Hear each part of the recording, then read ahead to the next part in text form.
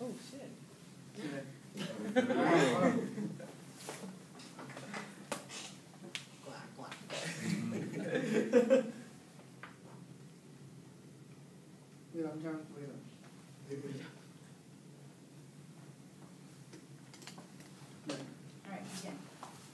We all go through many things in our lives, many experiences or obstacles face we to the person we are right now.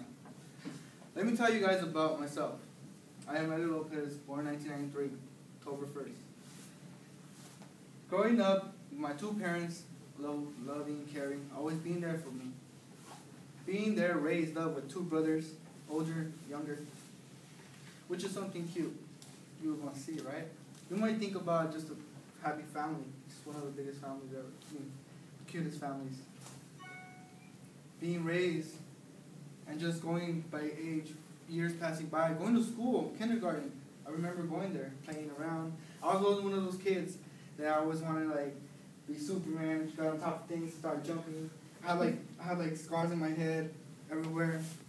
Because I was always that kid, always running up next to the floor, running to the floor or next to the to the walls, hitting myself. But then as I was growing up, I started seeing things. Growing in San Gabriel Valley, growing up around Latinos, Hispanics majority, just looking in that prostitution, seeing gangsters, seeing um, drugs, um, bums, seeing all that stuff was something that I kind of started looking at. I was going to seventh grade, I remember, and I remember I started being into all that. I started wanting to be, I wanted, I was, I was growing up, I wanted to be a, a party kid, a party person. I was seventh grader and I was all into party. I was something that I never got introduced to. I was like, wow, dang, I want to get into all that. Started looking into girls. I started like, I wanted to, I wanted to just mess around and care. Started being a player. Started dressing up, dressed to impress. D2I. Started hitting, hitting up crews, party crews and stuff like that. So I was just one of the things I just remember. That's one of the things I just remember represent. It started about symbols, gangs. Um, um, and then after that, growing into that, I was peer pressure because I mean, first of all, I didn't really know nothing about it, but then I got introduced to it, so then I got peer pressure to it, which was something. But at the end of the day, I guess I liked it. I enjoyed it. After knowing more people and more people, started getting into that. I started partying every single like weekend, Friday, Saturday, Sunday. I remember going with my brothers, going to parties, going for girls. I remember going to parties and just sitting down, looking, making those eye contacts, and be like, "Hey, what's up?" You know, um, or or maybe just hooking up, like just one day or something, or trying to do something like that. And then as time passed by, I started drinking, and then little by little, I didn't I, I didn't know, I started getting into all that. But then something attracted me to um, to like cholos out there, people bald headed fools. So I started seeing that, and it was something that I was into, and I was just thinking like, what? That, that's something that I got admired to because I was like, damn, it must be badass to be carrying a big old bandana, carrying it around you, carrying with the bike, going around with the bike and just talking and just going like that. or, or maybe you see some old fool, OG dudes right here, tatted up right here, and I was and just bald headed fool, and you're just thinking like, oh dang. I asked myself, dang, I want to do that. I mean, that's something pretty cool. I mean, I mean, I never got into school. New school wasn't my thing. I was always thinking to myself, uh, school ain't for me. You know what they say, school ain't for everybody. That's what I believe, which I was like. But then a little, but as I got into more into all that, I started getting into all, all into um, the part, the crews, and started hanging out with them. So I started becoming and claiming one them. I started to want to be one of them, and I wanted to be one of them as I grew up in high school. In high school, I wanted to be one of them, and I wanted to do the best thing there ever was be part of the gang. I wanted to be a part of the gang because I wanted to claim where I was from and what I wanted to do. It was something that I was always dreamed about. I always wanted to get tatted. But growing up right there in the city, like by San Gabriel, it was about brown pride. It was all about brown pride. It was about Latinos, Hispanics. So it was about something like that that I always grew up. So everything I had for myself, I noticed that it was about us, screw whites, blacks, Asians, everybody else. It was about Latinos, showing that pride, showing that brown pride. I remember again wanting to get tatted right here. I wanted to get tatted right here, but but before I get this tatted, I had to do something about it.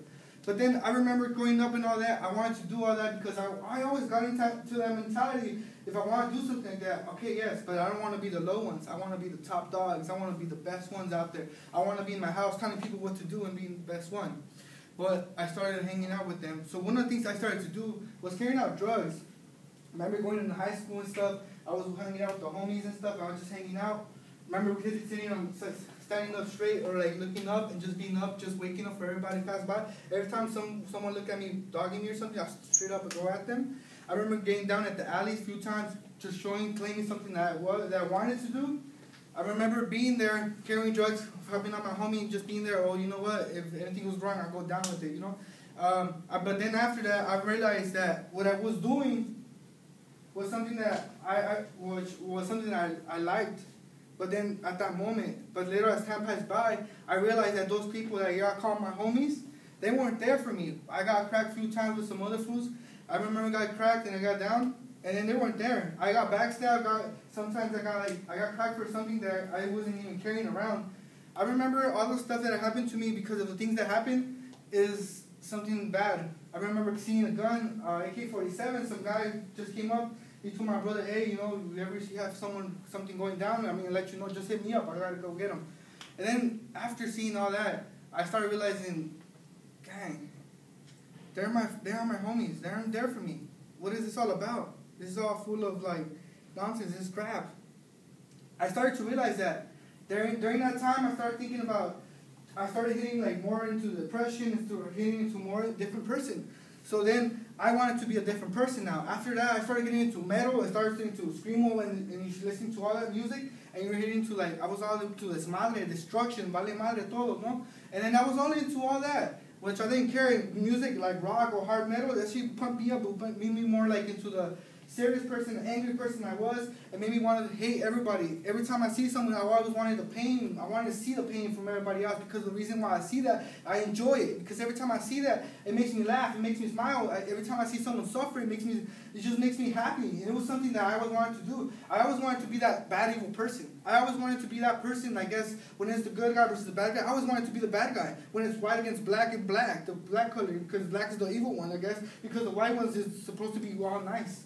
But no, then I grew up with this mentality, being isolated from there and thinking about I wanted to do all that. But then little by little, as the time passed by, I started to realize I started getting lonely, depression, I started hitting all that. I started getting to drinking a lot. I started to become something else. And then I remember a few times when going to in high school when I was into all that stuff.